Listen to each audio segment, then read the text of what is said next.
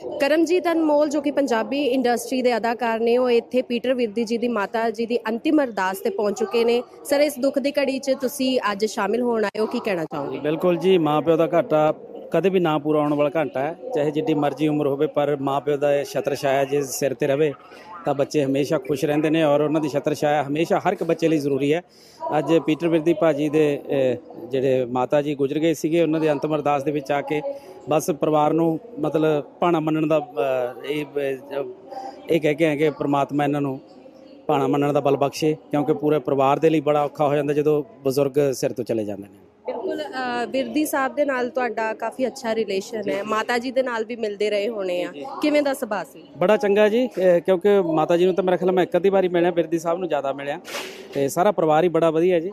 ਤੇ ਹਾਂਜੀ ਪ੍ਰਮਾਤਮਾ ਉਹਨਾਂ ਨੂੰ ਆਪਣੇ ਚਰਨਾਂ ਵਿੱਚ ਨਿਵਾਸ ਬਖਸ਼ੇ ਜੀ। ਬਹੁਤ ਬਹੁਤ ਧੰਨਵਾਦ ਤੁਹਾਡਾ।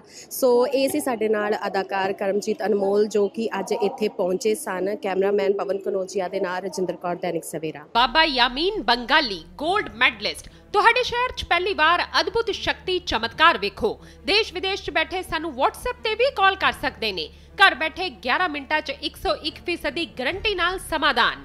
ਵਸ਼ੀਕਰਨ ਅਤੇ ਮੁਠਕਰਨੀ ਦੇ ਮਾਹਿਰ ਸਭ ਤੋਂ ਪਹਿਲਾਂ ਕੰਮ ਕਰਨ ਦਾ ਵਾਅਦਾ। ਨੌਕਰੀ, ਪ੍ਰਮੋਸ਼ਨ, ਕਾਰੋਬਾਰ 'ਚ ਪਰੇਸ਼ਾਨੀ, ਘਰ 'ਚ ਝਗੜਾ, ਬਰਕਤ, ਔਲਾਦ ਕਿਹੜੇ ਤੋਂ ਬਾਹਰ ਹੋਣਾ? ਕੋਰਟ ਕੇਸ, ਤਲਾਕ, ਪ੍ਰਾਪਰਟੀ ਡਿਸਪਿਊਟ, ਗੁਪਤ ਰੋਗ, ਪੁਰਾਣਾ ਦਰਦ ਪਤੀ ਪਤਨੀ ਚੰਬਨ ਜਾਦੂ ਟੋਣਾ, ਮਨਮੋਹਣੀ ਵਸ਼ੀਕਰਨ ਕਰਵਾਉਣਾ ਜਾਂ ਤੁੜਵਾਉਣਾ? ਸੌਤਨ ਦੁਸ਼ਮਣ ਤੋਂ ਛੁਟਕਾਰਾ ਸਦਾ ਲਈ। ਰੁੱਸੇ ਨੂੰ ਮਨਾਉਣਾ ਪਿਆਰ, ਮੁਹੱਬਤ। ਬਾਬਾ ਯਾਮੀਨ ਬੰਗਾਲੀ 9645303221